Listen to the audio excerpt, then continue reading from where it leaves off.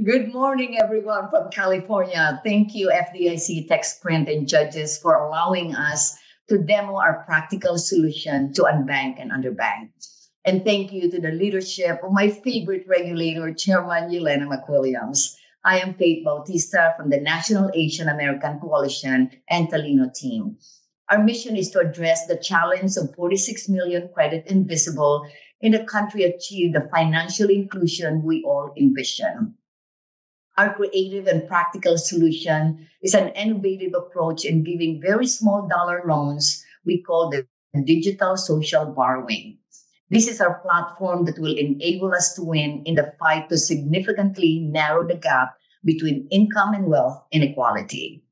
The main tack is to strengthen the small businesses in the underserved communities. In the recent years, there were about 492,000 new small businesses established. Yet, as of, as of April 2021, 34% of this closed. We can imagine the consequences and impact this created on families and individuals and their financial inclusion status. We all know that it's very expensive to be poor. There is the this is the circumstance we are addressing, and it begins with helping the small businesses that do not fit the box of lending institutions. We have a solution that is creative, out of the box, and impactful. Let me you in the team that will masterfully demonstrate our digital social borrowing platform. Let me introduce Winston Damarillo, CEO of Talino Ventures. Winston? Great, thank you. Thank you, Faith, and good morning, everyone, or good afternoon, everyone. Uh, I was telling Faith from the from the right side of California. Um, um, I am I'm pleased to present to you what we're um, going to showcase, which is the Talino uh, and NAAC solution for specifically for the MSME, and we'll emphasize the M part of the MSME um, just a quick background of what we're about to show you. Um, the last six years, uh, through the work I'm doing with the World Economic Forum, we've been spending time specifically to enable financial inclusion and economic inclusion uh, in Southeast Asia and the Middle East. And we have essentially digitized the Grameen Bank model uh, of providing lending to very small businesses uh, in the region in Southeast Asia. And I'm pleased uh, to bring this back home to the United States, actually, and, and work with CDFIs like NAAC to to bring the product to life in the country. We've had an opportunity to deploy this solution uh, to about uh, 10 million people around the world. Uh, in the in the last few months, we've been running this platform in Southeast Asia and processing about 17,000 loans per month. So um, I'm eager to show you the, the, exact experience of what we're about to show. I just want to give you a quick telemetry of what's in our solution. So first starts with interactive financial literacy. Uh, we have had the opportunity to learn more about Money Smart from FDIC, and my team took uh, the liberty of uh, um, converting it to interactive video with with uh, some questions and answers in there.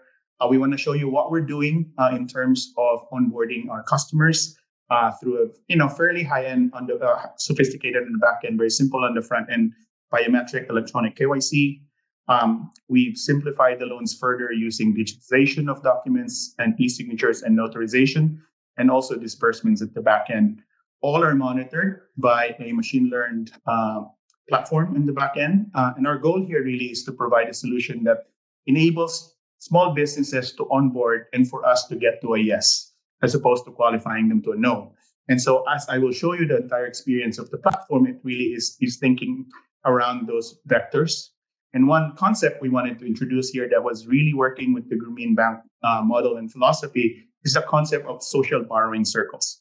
And this is really in, in, in what we've learned uh, in Southeast Asia is a highly mutually reinforcing co-borrowing platform that has yielded over 90% repayment rates uh, at the loan rates under credit card rates, you know, sub 20% and uh, sustainably uh, through financial institutions. So it didn't become a chart charitable dole it's really something that can be banked upon and, and built on top of it. So without further ado, I was going to show you the exact experience uh, of how the platform's working. So this is running completely on mobile. It's a mobile first and mobile only platform. Uh, it we made it super inclusive by requiring only a SIM card uh, for a particular user and their biometric. And in the Philippines, for instance, when we use this in very high volume in partnership with the USAID, all the consumers in the Philippines just needed a SIM card and they lent each other their mobile phones. uh, to actually be in the banking uh, on ramp. So we designed platforms to be uh, that level of at that level of inclusivity. So just kind of a quick run through of it. Uh, a lot of the financial literacy is is upfront. Uh, we start our customers off by getting them uh, access to financial literacy information. The collection of information is progressive. So we wanted people to be comfortable and be on ramp with simple data set as, as they move forward. Um, and uh, through the entire experience, we start to track two things, right? And the moment we get to know our customers, we started thinking about their credit scores and we built also a proprietary risk rating engine underneath it. Uh, we are assuming that most of our customers are unbanked and without credit scores. And so we actually created a model by which we can still qualify and progress them through the process. Financial literacy is kind of the centerpiece in the beginning of everything we're doing.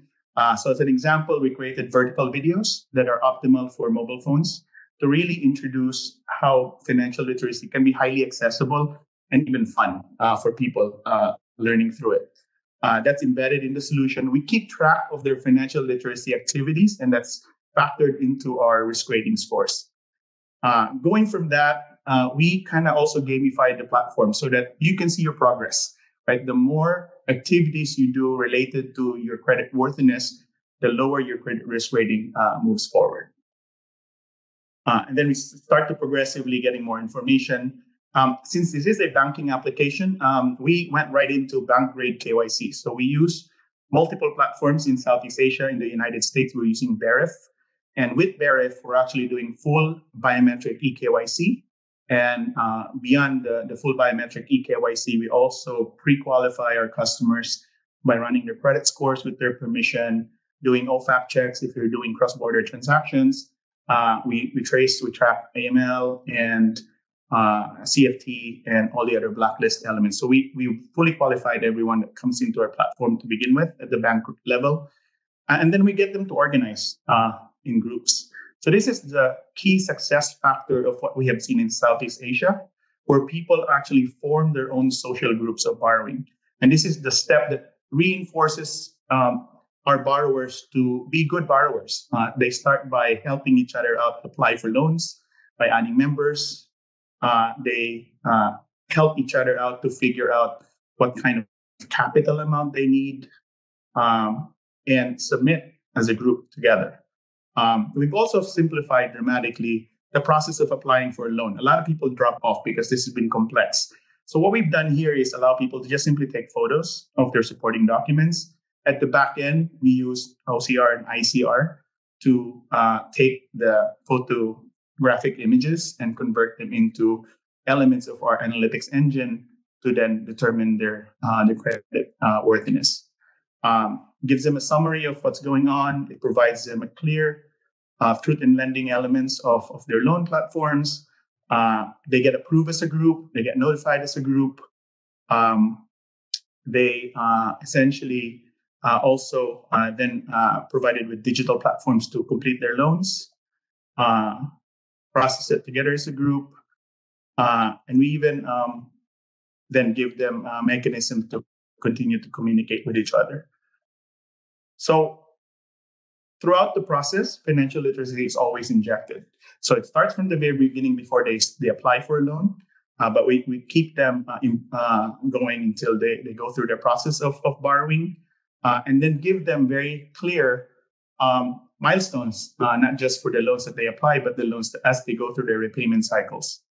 Uh, the mutually reinforcing part of the loans gets to an every month session. in the Grameen model, it's called center meetings what we've done is digitize this process so people can check in on each other, help each other out. And when there are some issues, for instance, one of them uh, are having hard time payment, paying, one minute, they could uh, proactively do that.